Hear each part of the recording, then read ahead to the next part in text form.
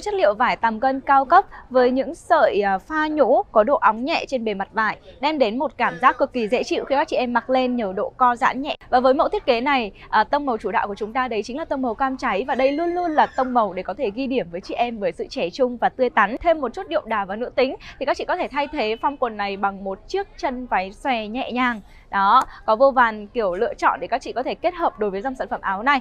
Trang đã xuất hiện và quay trở lại cùng với một phiên bản thứ hai của áo này. À, hiện tại thì em đang mang đến cho các chị một vẻ ngoại hình trông rất là ngọt ngào và tiểu thư cùng với một form à, chân váy đúng không nào? Đó với cách kết hợp này thì trang nghĩ rằng là sẽ phù hợp để dành cho chị em nếu như mà chúng ta đi những buổi tiệc nhẹ nhàng này hay là chúng ta đi dạo phố này đi chụp ảnh này đi giao lưu gặp gỡ với bạn bè chẳng hạn à, còn đối với những dáng quần suông hay là dáng quần ống vẩy thì nó sẽ phù hợp để dành cho chị em mặc đi làm à, hoặc là đi à, đến những buổi tiệc chẳng hạn đúng không nào? À, hiện tại thì đang có đầy đủ tất cả các form size cho áo này nhé chị em nhé đang có ở tại tất cả các hệ thống showroom nữa. Nên nếu như có thời gian thì trang rất hy vọng sự hiện diện và có mặt của các chị em ở tại hệ thống showroom của Melia để chúng ta có thể ngắm cận chất cũng như là mình có thể là thử tất cả những cái cách mà em trang đang mix phối ở trên đây. À, hoặc là nếu như mà chị em không có thời gian thì hãy ngắm trang ở trên video và chúng ta đặt hàng chính sách mà online rất ưu đãi các chị em ơi. Chúng ta sẽ được quyền kiểm tra hàng trước khi thanh toán và miễn phí ship toàn quốc đấy ạ.